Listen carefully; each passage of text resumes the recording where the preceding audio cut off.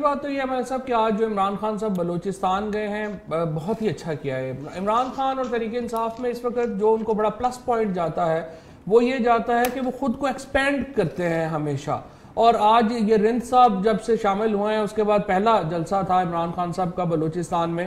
اس لحاظ سے تو بہت ہی اچھا ہے کہ ان like P M L N جو خود کو پنجاب تک محدود کر رہی ہے اور مجھے بالکل سمجھ نہیں آتی ہے کہ نواز شریف صاحب کی جو لیڈرشپ ہے اور پنجاب کی جو جو overall P M L N کی لیڈرشپ ہے، وہ کیوں انٹرسٹڈ نہیں ہے کہ وہ ایکسپینڈ کرے خود کو؟ کیونکہ پاکستان کو دیکھیں پولیٹیکل پارٹیز ایک انسٹیٹیوشن ہے۔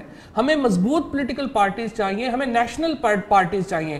چاہے وہ پیپلز پارٹی ہو پی ایم ایل این ہو پی ٹی آئی ہو، ان کا نیشنل کلر جو ہے، میرے اور آپ کا فائدہ یہ ہے کہ نیشنل کلر ہو اور تاکہ ایک صوبوں تک محدود نہ ہو۔ انفارچونیٹ ڈیفینیٹلی سوائے عمران خان کے، باقی کسی جو لیڈر ہے، چاہے وہ بلاول بھٹو ہوں یا نواز شریف صاحب ہوں یا زرداری صاحب ہوں، ان کو یہ احساس نہیں ہو پا رہا کہ کتنا امپورٹنٹ ہے آپ کا بلوچستان میں جانا کے پی کے میں جانا، سندھ میں جانا، تو یہ تو بڑا اچھا ہے۔ جہاں تک آپ دوسرے حصے کی طرف آ جائیں، ان کے ڈیمانڈز کی طرف اور ان کی تقریب وہ نان سیریس ہے۔ فرینکلی دیکھیں، عمران خان پالیٹکس کر رہے ہیں۔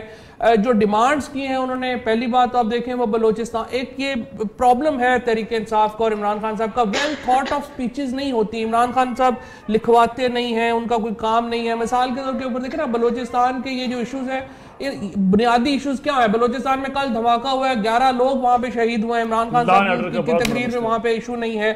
ان کا دوسرا بڑا پرابلم سی پیک ہے۔ وہاں پہ کیا ایشوز ہیں؟ گوادر کے اوپر کیا ہے؟ بلوچستان کے اندر جو ایک تحریک چل رہی ہے اس پہ عمران خان کا کیا موقف ہے کیا بات ہے؟ سو عمران خان صاحب نے اس طرح سے ان ڈیپتھ جا کے بلوچستان کے جو ایشوز ہیں ان کو ٹچ نہیں کیا۔ سوچا بھی نہیں ہوگا وہ اس طرح جاتے ہیں جہاں پہ بھی جاتے ہیں۔ ایک چیز جانا بہت اچھا ہے جو ان کا وہاں پر جا کے خطاب ہے تھاٹ آف ہوتا تو زیادہ اچھا تھا۔ یہ نان سیریس ایشوز ہے تیسری بات جو آپ کہہ رہے ہیں پروٹیسٹ کی